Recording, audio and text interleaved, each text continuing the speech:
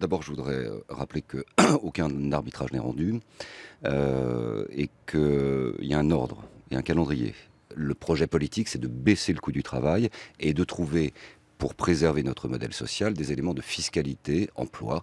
Alors la TVA est une piste parce que c'est une fiscalité assiette large. Il y a d'autres assiettes larges. Ça n'est pas la seule. Nous ne sommes pas enfermés dans un carcan et laissons le processus de dialogue se poursuivre. Laissons le président de la République dans sa logique euh, de discussion avec les partenaires sociaux. Et notre responsabilité à nous, c'est de l'accompagner sur des propositions qui soient efficaces. La question n'est plus de savoir quel euh, un plan de rigueur supplémentaire ou pas. Nous ne sommes plus dans des logiques de plan d'économie. Nous sommes dans des logiques de soutien à la croissance. Et pour soutenir la croissance, il n'y a pas 36 solutions. Il y a une faiblesse française qui est le coût du travail. Il faut donc trouver le meilleur projet politique et socialement qui soit également euh, accepté.